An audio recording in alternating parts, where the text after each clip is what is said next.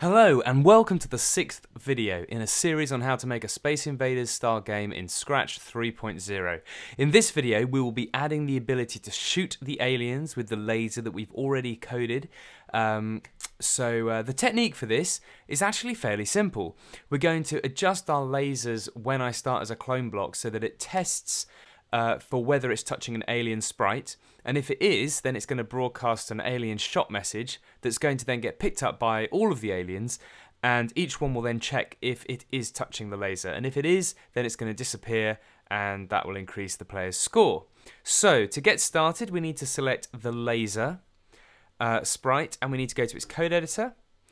And we are going to drag an if block inside this repeat until block. Okay, so we're just going to go uh, control, if, and we're going to drop that in there. I don't want that change y by 10 to be inside the if, so I just pull that out so it's underneath it. And the thing we're testing is just going to be whether we're touching uh, the alien. So for that, we go to sensing, we grab a touching block from the top, pop that in there, and change from the drop down menu, choose um, alien. So if touching alien. So if we are touching an alien, what we want to do is broadcast a message uh, to all the aliens saying alien has been shot. So under events, we're going to broadcast and wait. Now that's really crucial because we need the alien, uh, we need the um, laser to hang around long enough for the alien to detect it. So we need to do broadcast and wait. So we're going to drop that in. Let me just make some room here. Um, and we're going to need to create a new message. Okay, and the new message is going to be alien shot. And press OK. Once uh, that's done, then um, we can just add delete this clone, which is underneath control, because we don't need this um, particular laser bullet anymore because it's done its job so it can disappear. If we didn't include this, then um, the laser would continue to go up the screen and it might shoot other aliens on top of the one that's just been shot. So uh, that's literally everything we need to do for the laser sprite.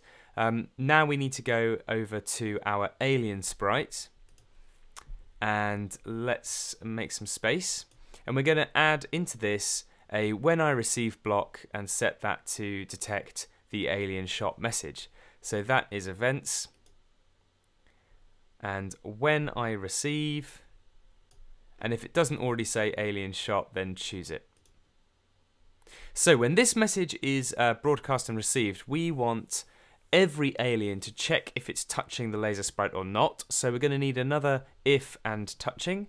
So control if um, sensing, let's do touching. So the alien's going to be saying, hey, am I touching the laser? Are you touching the, the laser? Who's touching the laser? So if I'm touching the laser, then we need to, um, what do we do when an alien's shot? Well, two main things. One, we're going to want to change the count of aliens because that's going to reduce. Um, and then the other thing we're going to want to do is um, hide and delete that particular alien. So to change the aliens count is pretty easy. We just go to variables and grab a change block, drop that in there, and the, the variable that we're changing is the aliens count, and we are going to reduce it by one. So we just need to change it by negative one. And then we're going to hide the aliens, so looks and hide. And then control and delete this clone. Okay, so when the alien is shot, it's going to reduce the alien's count, it's going to hide and delete. So um, let's just press the green flag and test to see if this works.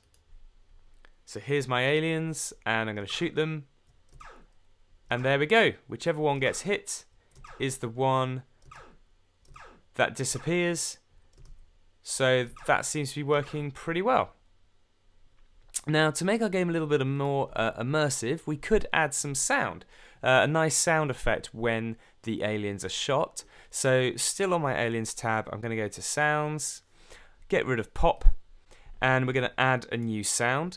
Uh, now, you can choose whatever you like, um, but I put into my game one called Crunch, which has a nice kind of 8-bit um, retro feel. So I'm going to use Crunch, and now I go back to my code editor, and I just need to go to Sound, and Start Sound Crunch, and I just put that in above the hide. So now when I shoot an alien, there you go, it's a bit more immersive and a bit more fun.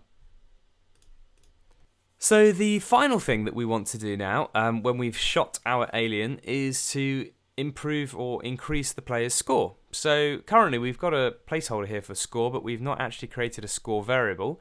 Um, now a score is a kind of game-wide thing. It's something that might be affected by different power-ups or things you put into the game. So rather than making it belong to any particular sprite, we're going to go to the stage, and we're going to create a variable which is going to apply to the whole game. So make a variable, and we're going to call it score. Press OK and we're going to set its initial value when we start a level. We're going to make its initial value just zero. So if I grab a set, drop it in here and set score to zero.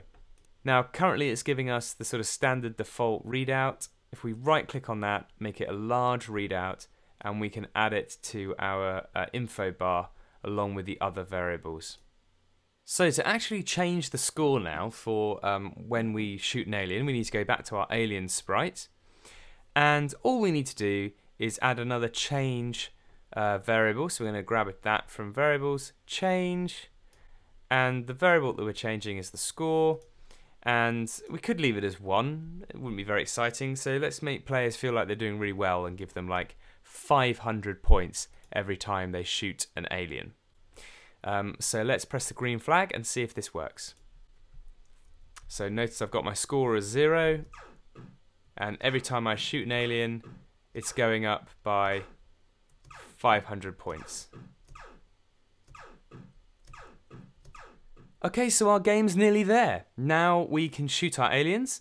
Um, the only thing that's missing is some kind of level complete when we've shot all of them or maybe a game over message if the aliens get all the way to the bottom of the screen or if one of them touches the spaceship.